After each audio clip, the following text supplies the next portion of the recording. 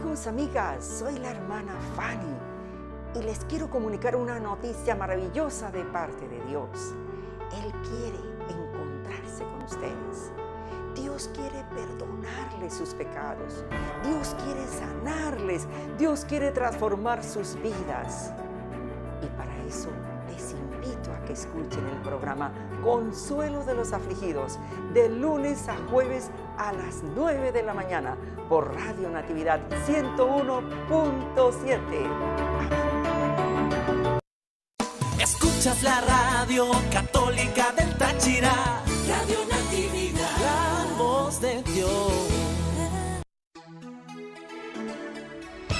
Este es un programa mixto, en horario todo usuario, el cual no requiere la supervisión de sus padres, madres, representantes o responsables. Es una producción nacional. ¿Usted se siente triste, preocupado y no sabe cómo disfrutar de paz en su corazón, en su familia? Entonces les invitamos a escuchar Consuelo de los Afligidos con la hermana Fanny Quiñones por Radio Natividad.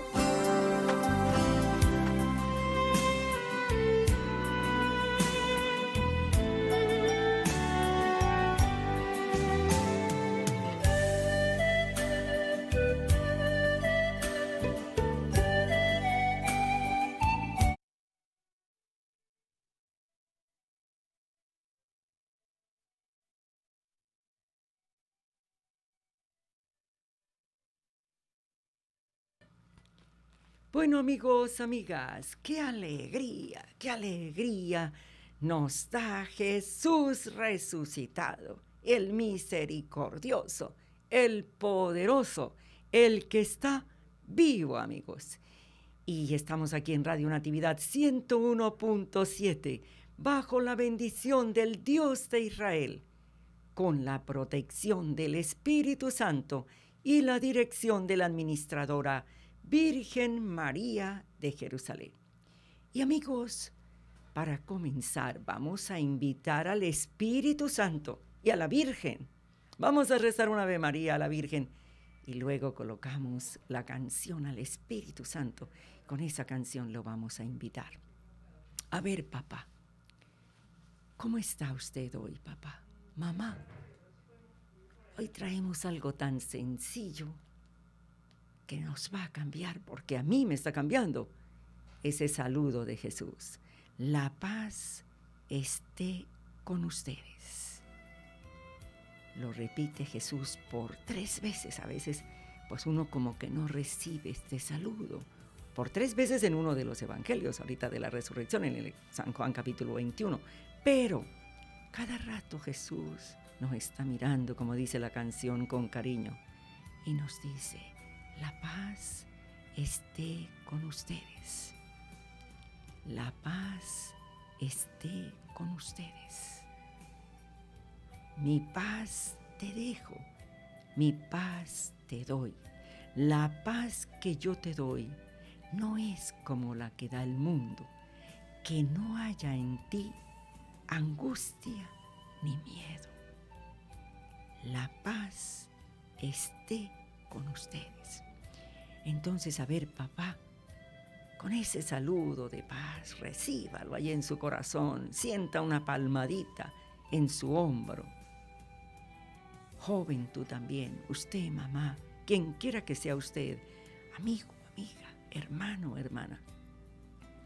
La paz esté con ustedes. Entonces, a ver, vamos, papá, abra sus labios si puede y abra su corazón, que ese sí puede, así esté trabajando, haciendo otra cosa. Vamos a rezarle a la Virgen este Ave María por usted. A ver, mamá, vamos a rezar por usted. Y con usted, mamá, rezamos por sus hijos, por sus hijas, por sus nietos, por sus hermanos, por su familia. Jóvenes, vamos a rezarle a la Virgen este Ave María y después escuchamos la canción al Espíritu Santo. Jovencito, jovencita, mi amor, los niños, vamos a rezar todos unidos. Amigo misionero, predicador, consagrado, consagrada, vamos, vamos a rezar a la Virgen por usted. con usted también. Venga. Nosotros no sabemos quién amaneció triste hoy. Este Ave María transforma el mundo. A ver, unidos todos como hermanos, de cualquier denominación religiosa, de cualquier ideología política, hermanos todos, digámosle a la Virgen, a la Reina, Dios te salve María, llena eres de gracia, el Señor es contigo, bendita tú eres entre todas las mujeres, bendito es el fruto de tu vientre Jesús. Santa María, Madre de Dios, ruega por nosotros pecadores, ahora y en la hora de nuestra muerte. Amén, amén. Y ahora amigos, también vamos a escuchar la canción Unidos a aquellas personas con quienes estamos distanciados, de quienes estamos distanciados. A lo mejor usted está mal con un familiar suyo está pensando cosas, diga, eso se lo digo yo por experiencia, yo también, pensando cosas como allí haciendo crecer resentimientos, rechazos, dudas, porque a veces ni siquiera es cierto. Vamos amigos, por ellos, con ellos, escuchemos al Espíritu Santo. Dios va delante de ti. Él no te dejará ni te abandonará. No temas, no te desanimes.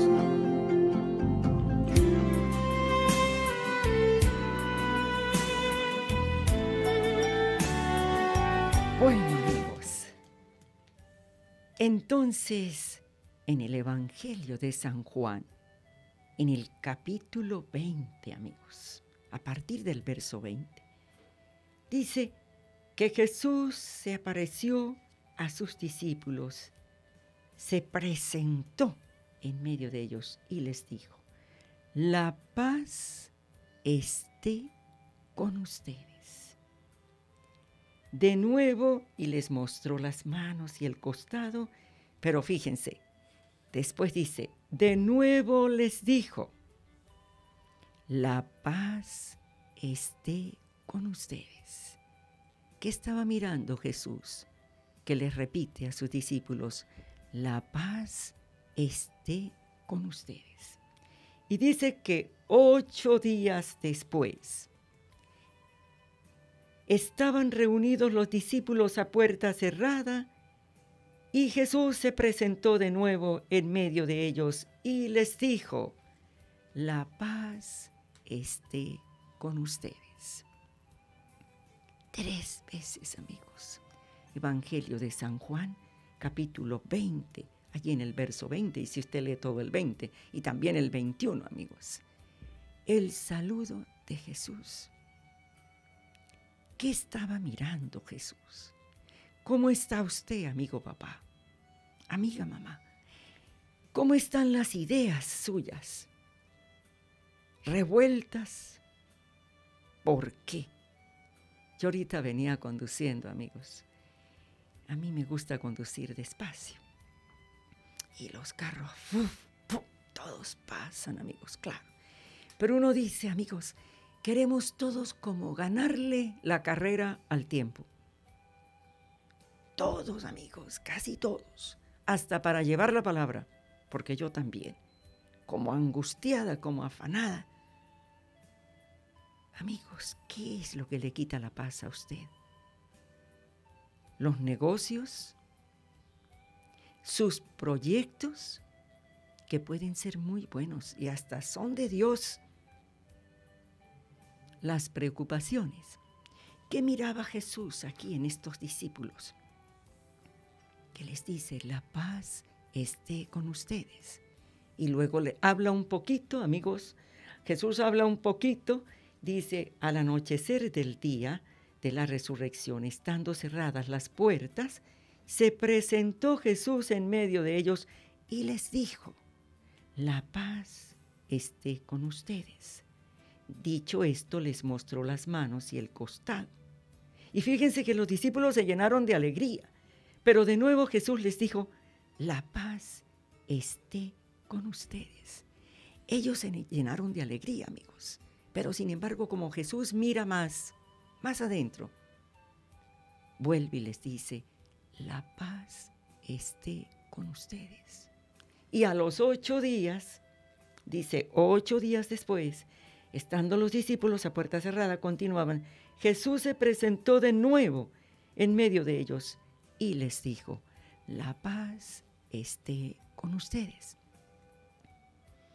Y si nos devolvemos al capítulo 15, amigos, capítulo 15, allí encontramos que Jesús dice, mi paz les dejo, mi paz les doy.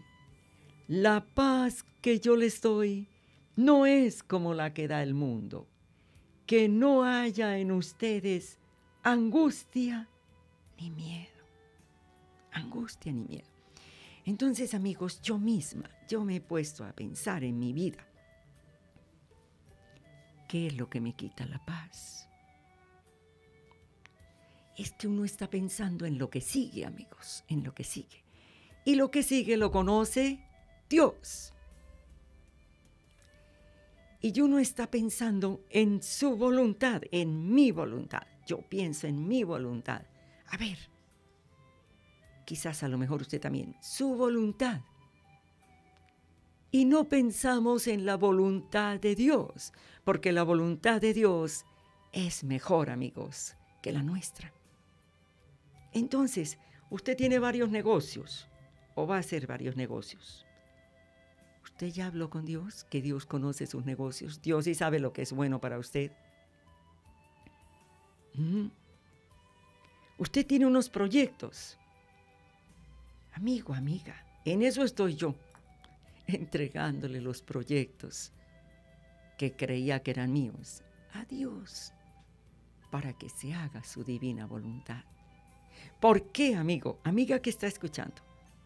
Esto me lo encontré un librito, ya lo había leído hace como dos años o tres. Como es pequeño, me encantan los libros pequeños, lo cogí y era como una revelación para mí.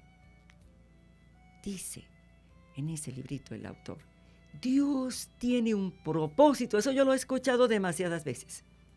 Dios tiene un propósito sobre su vida, sobre la mía. ¿Qué tenemos que hacer? Permitir que Dios cumpla el propósito que Él tiene sobre mi vida sobre su vida. No es que Dios tiene que cumplirle a usted o a mí los propósitos que tenemos nosotros. Hasta decía allí, me llamó la atención, no, no pida tanto que Dios le bendiga esto, que le bendiga esto, que le bendiga esto. ¿Vio? Sino, Señor, aquí tengo esto, aquí tengo este dinero, Señor cumple el propósito santo y divino que tú tienes sobre este dinero.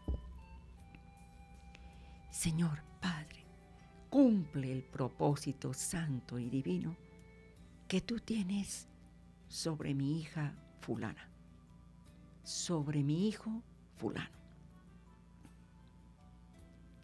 Señor Padre, como cada uno le queramos decir, Cumple, Señor, el propósito divino y santo que tú tienes sobre mi esposa, sobre mi hermano. Amigos, hace mucho leí en un libro también que una mamá tuvo morochitos. Y entonces le preguntaron, ay, Qué hermoso, ya los llevaban en el, carrito, en los carritos o en un carrito para dos. Ay, qué lindo sus hijos y cómo se llaman. Ya los niños habían crecido un poco, pero estaban de carrito todavía. Dijo, este, el ingeniero se llama Luis y el abogado se llama Martín. La señora ya le tenía los nombres y las profesiones a los niños que todavía estaban en un cochecito. Amigos, me vino este ejemplo en este momento. ¡Ay, qué lindos los niños! ¿Y cómo se llaman? Y va diciendo los nombres. Luis, este se llama Luis. Y, este, y la profesión que ella quería que ellos tuvieran cuando crecieran. Amigos, no es por maldad, no es de maldad. De maldad no tenemos nada, amigos. Bendito sea Dios.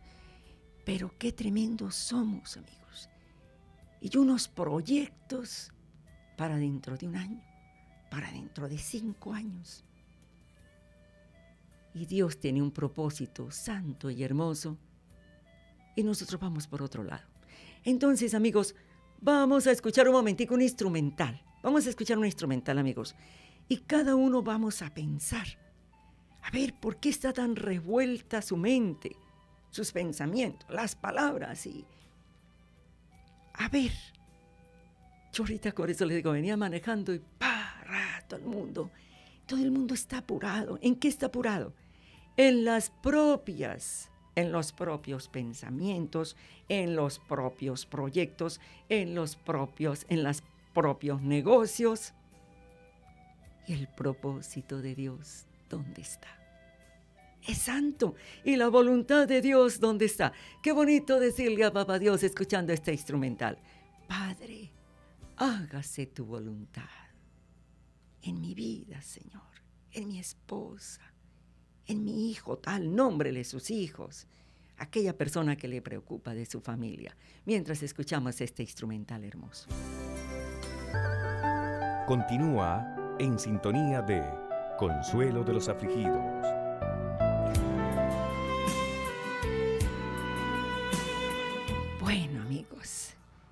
Entonces tenemos un Jesús vivo.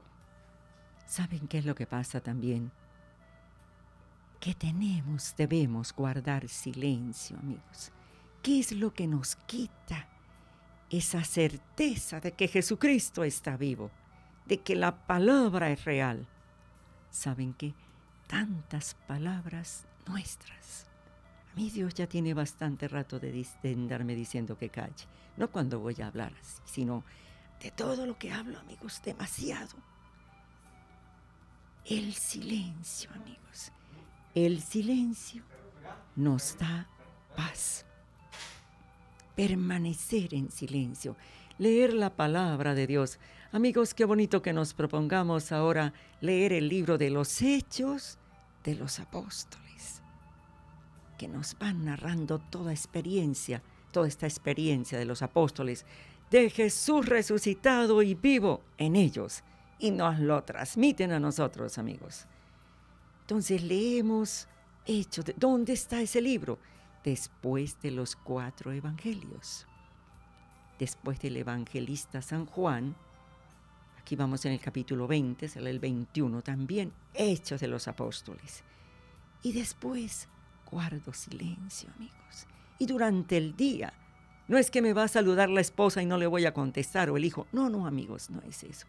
Es tomar un tiempo de silencio reverente, respetuoso, para permanecer con Jesús. Y vamos a hacer un propósito, amigos, de resurrección. Vamos a ir cortando palabras, cortando conversaciones que a veces son inútiles, sin despreciar a nadie, amigos. No es eso Vale más el amor. Pero esto lo voy a hablar de más. Mejor callo. ¿Y para qué callo? Para encontrarme con Dios en mi corazón. Entonces, amigos, porque muchas veces muchas palabras nos quitan la paz y Jesús hoy nos dice, la paz esté con ustedes. La paz esté con ustedes la paz esté con ustedes. Y en el Evangelio de San Juan, en el capítulo 14, en el verso 27, Jesús nos dice hoy, mi paz te dejo. Sienta la mano de Jesús en su hombro. Mi paz te doy. La paz que yo te doy escucha a Jesús que pronuncia su nombre. Jesús de misericordia, el misericordioso, el sonriente. La paz que yo te doy no es como la que te da el mundo. No es como la que te dan tus negocios, tus proyectos, tus muchas habladurías.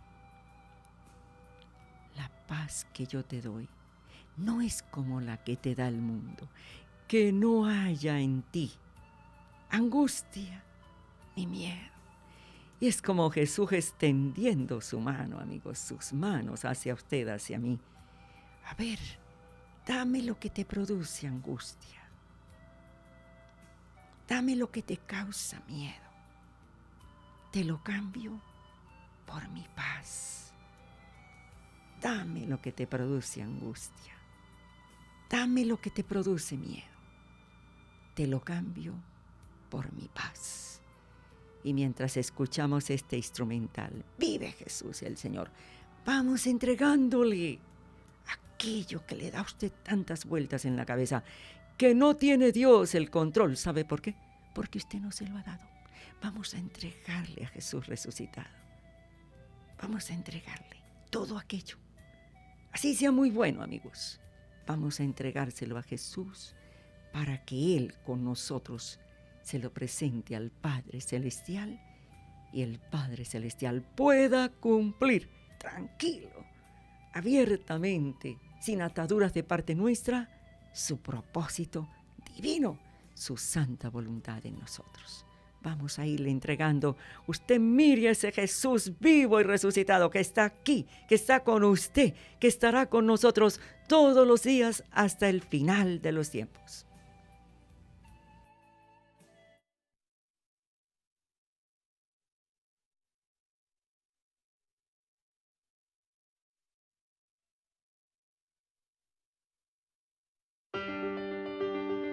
Estás en sintonía de Consuelo de los Afligidos. Bueno amigos, qué hermoso escuchar a Jesús cuando Jesús está corriendo, angustiado, afanado. Mi paz, la paz esté con ustedes. Mire ese Jesús hermoso que, que hemos celebrado como Jesús de la misericordia. Mírelo y escuche. La paz esté con ustedes. Por tres veces. Y ojalá durante el día escuchemos a Jesús. La paz esté con ustedes. Mi paz te dejo. Mi paz te doy. La paz que yo te doy no es como la que da el mundo.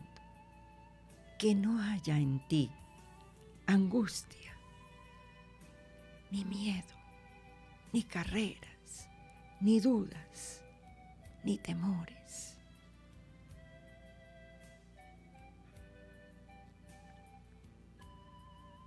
Jesús bueno Jesús resucitado, Jesús poderoso, Jesús vivo.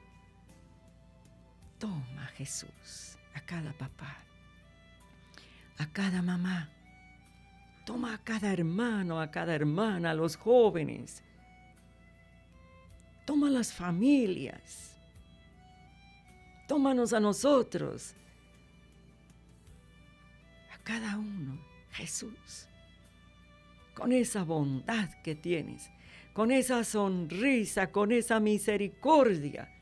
Ah, Señor, que esos rayos de misericordia iluminen, transformen nuestros rostros, nuestros corazones. Jesús bueno. Ayúdanos, Jesús. Ayúdele a cada uno, a mí también, a presentarle al Padre contigo todo lo que hemos hecho hasta hoy, lo que hemos hablado, lo que hemos planificado.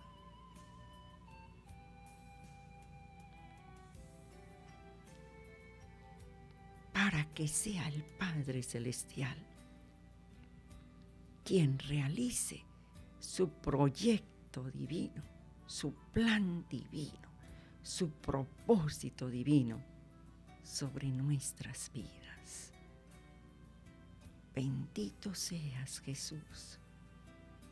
Gracias por tu alegría, Jesús, porque no nos rechazas. Queremos empezar una vida nueva.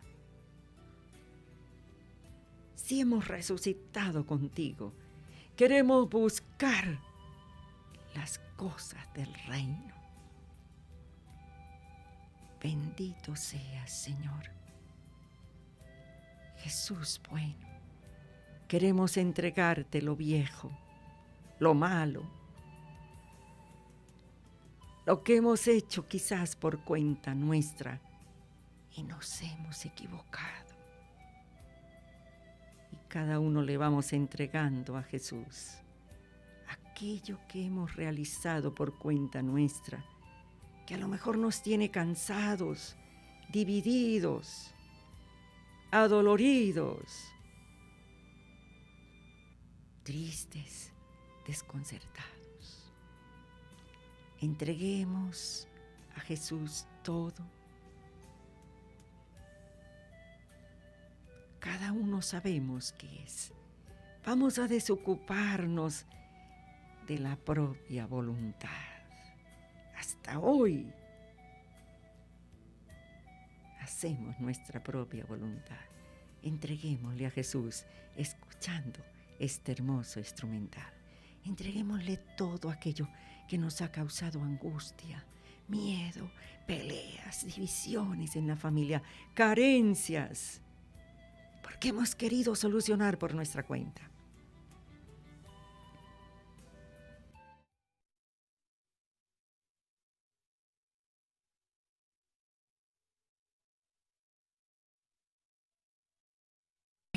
Amigos, y vamos unidos a decirle al Padre con Jesús, amigos.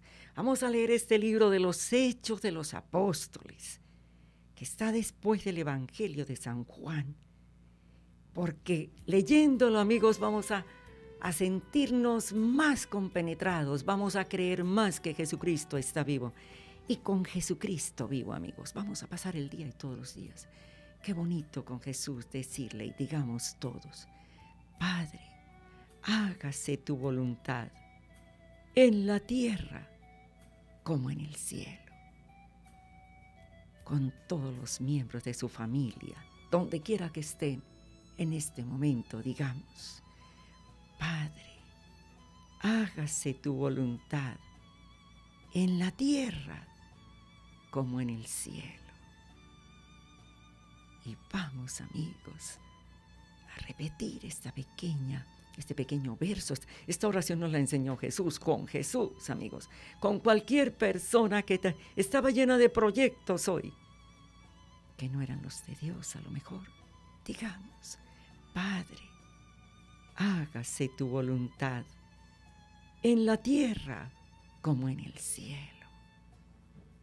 Vamos, amigos, con todos los hermanos del Táchira, este precioso estado Táchira, digamos unidos, Padre, hágase tu voluntad en la tierra como en el cielo. Con todos los hermanos de Venezuela, del mundo entero, Padre, hágase tu voluntad en la tierra como en el cielo. Con tantos hermanos en el universo, que no saben cumplir la voluntad de Dios. Nadie les ha hablado. Viven tristes, a lo mejor angustiados con dinero a veces. Vamos amigos, por eso Jesús dijo, nos dice, hágase tu voluntad en la tierra. Y usted se imagina todos los hermanos del mundo. Digamos unidos, Padre, hágase tu voluntad en la tierra como en el cielo. Allí, con lo que hay en su casa, con lo que usted tiene en su casa, en sus negocios, digamos unidos, Padre, hágase tu voluntad en la tierra como en el cielo. Los que llevamos la palabra en cualquier parte del mundo, los que estamos dedicados a esta obra del Señor, digamos, Padre, hágase tu voluntad en la tierra como en el cielo. Con todo lo que usted ha realizado, con lo que yo he realizado, con lo que cada uno hemos realizado a lo largo de nuestras vidas, juntemos todo.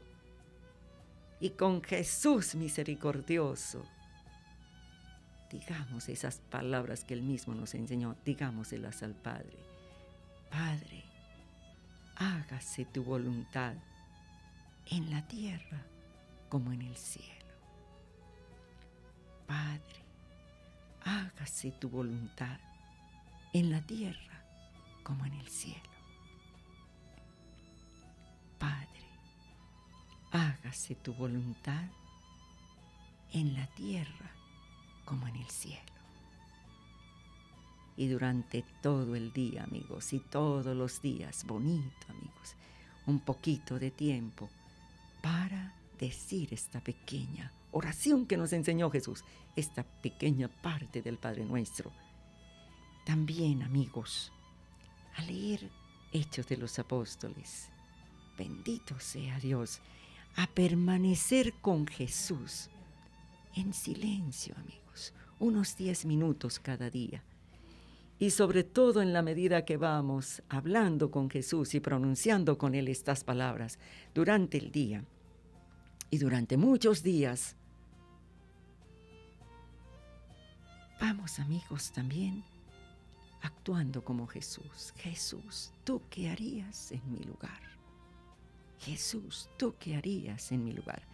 Y algo importante amigos, al ir transformándonos con Jesús, vamos dando ejemplo a los menores que nosotros y a los mayores también. Vamos dando ejemplo que vean en nosotros a Jesús, en nuestra manera de hablar, nuestra manera de vestir, nuestra manera de actuar, nuestra manera de callar. Bueno amigos, vamos a, vamos a escuchar un popurrí. Vamos amigos, vamos porque Jesús es alegría. Y qué hermoso amigos, a leer la palabra. Vamos a seguirle rezando a la reina, a la Virgen, a hacer el altarcito amigos a reunirnos allí, a sentarnos primero, pero dando ejemplo, amigos, dando ejemplo, porque a veces hablamos de Dios, pero no damos ejemplo. No hablamos de Dios, pero no hablamos como Jesús. Entonces, amigos, bueno, es que Dios y la Virgen nos sigan bendiciendo. Desde Radio Natividad para el mundo estamos bajo la bendición del Dios de Israel con la protección del Espíritu Santo y la dirección de la administradora Virgen María de Jerusalén. Y volvamos a leer Juan capítulo 20 y Juan capítulo 14. Mi paz te dejo, mi paz te doy.